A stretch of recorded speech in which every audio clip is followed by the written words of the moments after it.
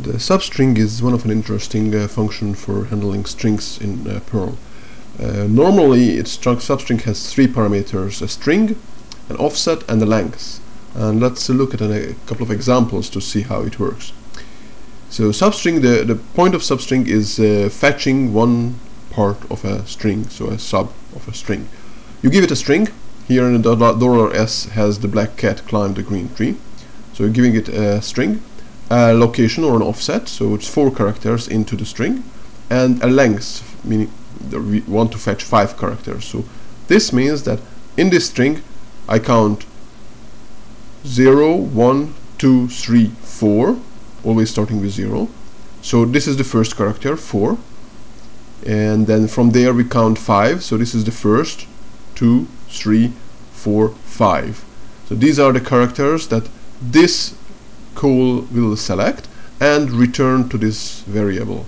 So therefore $z will hold black in this expression. So the first is the string, the second one is the offset or the location from the left hand side counting from zero and the third one is uh, how many characters you would like to get. As you can see in this example the length can actually be a negative number. Now what does that mean is that the 4 here is the offset from the left hand side and the minus 11 means that it's basically an offset from the right hand side.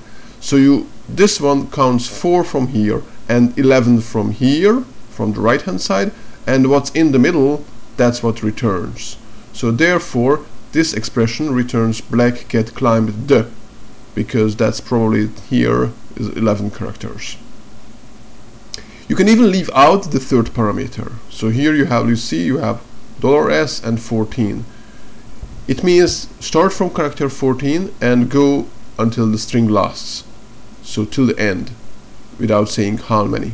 So 14 from this is I don't know from 14 is probably C here. Climb the green tree. That's what you get here. Then even this one can be a negative number. So even the offset can be, and you can guess that it, this means instead of counting from the left hand side offset, counting it from the right hand side. So minus 4 means 1, 2, 3, 4 starting from t. Because we haven't given a third parameter, means till the end. So all the four characters here, that's 3. And the last example here shows that even if you give a negative number as the offset, you can even still give uh, any number, either negative or positive, as uh, the length. So this would start from the fourth character from the right hand side and take two characters, that's T and R, and that's what it returns. Now these are the regular cases of substring. There is a, another one, a special case, when you actually provide a force parameter. So now you have one, two, three, four parameters to substring.